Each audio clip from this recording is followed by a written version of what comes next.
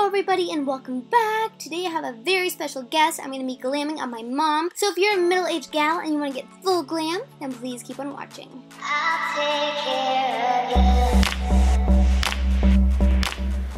Starting out with the hydrating setting spray. This is a great step whenever I'm doing makeup on middle-aged skin to just help nourish and moisturize their skin. Next, I'm using my MAC Strobe Cream, and I like to put this right on the high points of her cheekbones. And if your client has a lot of wrinkles, you should skip this step. But since my mom has really full cheekbones, I'm going to go in with the strobe cream. Next, I'm using a little bit of a Water Balm as well as a Makeup Forever smoothing primer. So I'm putting the Water Balm all over her face to really hydrate her skin. This is a really, really important step when you're doing mature skin or middle-aged skin. And then I'm going to be taking the smoothing primer and I'm going to put that in her T-zone area to really help fill in her pores and smooth everything out, including the wrinkles on her forehead.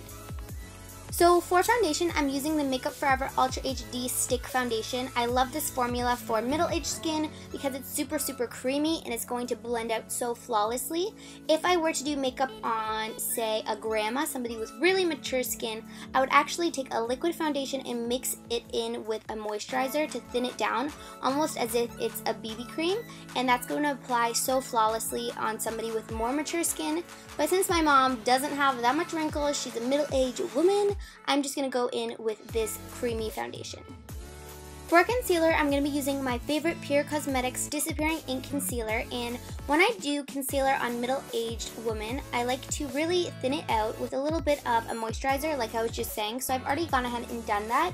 And I'm also applying it with a brush and I'm really blending it out before I go in with my beauty blender so it has a really flawless finish. Whereas if I were doing this on myself, I would just apply it and then go in with a beauty blender. But I really want to blend this out so it has a really, really light layer of concealer before I go in with the beauty blender.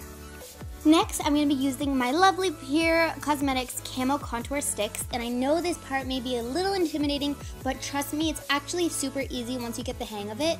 So I apply it in a little three shape, and then I blend it out with a buffing brush, and I absolutely love using cream products when I'm doing this type of skin. And I try to avoid using shadow products as much as possible. I'm picking up my Kat Von D Shade and Light Contour Palette, and I'm just going to quickly contour her nose and really lightly set the cream products that we used. And for blush, I'm using my MAC Mineralized Blush, and this is in the shade Petal Power. And I absolutely love this blush for middle-aged skin because it has a really nice sheen, so it's going to really make their cheekbones look very full and juicy. For brows, I'm going to be using my ColourPop Brow Pomade, and this is in the shade Dope Taupe. And I love to really give my clients really full and defined brows when they are a little bit older. My mom is almost 50 and she doesn't have any Botox, so it's really important to put back those steps to making her face look a lot more youthful and giving her big, luscious brows will definitely help age her back a few years. I'm using a setting powder to create this sharp edge on the corner of her eye, and this is really going to help lift her eyes up. This shape makes your eyes look a lot more open and awake and also it makes them look larger. So I'm first going into a light brown shade and I'm just buffing this into the outer crease of her eye and then I'm going to go in with a tinier brush with a darker brown and I'm really focusing this in the very outer corner of her eye and this is going to pull her eye shape outwards and really elongate it to the temples. And if you're having any trouble with the eyeshadow, if you lift your client's eyebrows up it'll be a lot easier to buff everything out. I like to really focus the eyeshadow at the lash line so that you still have some intensity and definition at the lash line, but it's not going to settle in her crease. And it's always really, really, really important not to use shimmer on the eyelids because it's going to accentuate the wrinkles. I'm picking up my Inglot Black Gel Liner and I'm just going to pop this right in her lash line. Since she does have blonde hair, that means she has blonde eyelashes, so I want there to be a very dark and defined lash line. And at the outer corner of her eye, I'm just going to start blending and smudging it to really help lift her eyes upwards and really give that definition to the outer corner. I popped on some Ardell Wispy Lashes to complete her eyes and really quickly I'm just going to bronze her up a little bit more to bring some life into her face.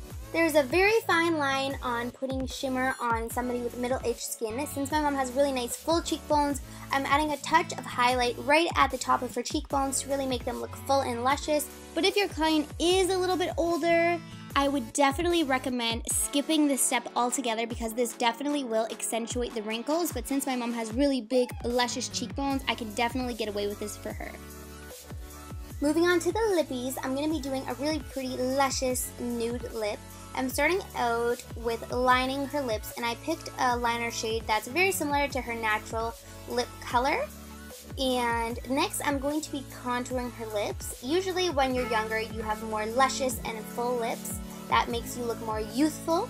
As you age, your lips do tend to shrink and aren't as juicy, so I'm really putting some contour to make them look larger and fuller and then I'm going in to this nude lipstick and then I'm going to go into a lip gloss.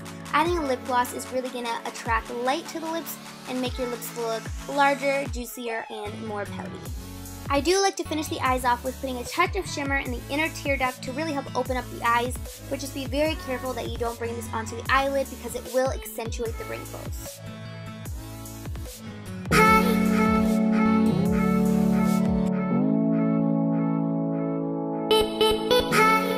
So here's the finished look. I hope you guys learned something helpful and useful. And of course, subscribe if you guys want to see more videos. And I'll see you guys in my next video. Bye, guys. I'll take care of you.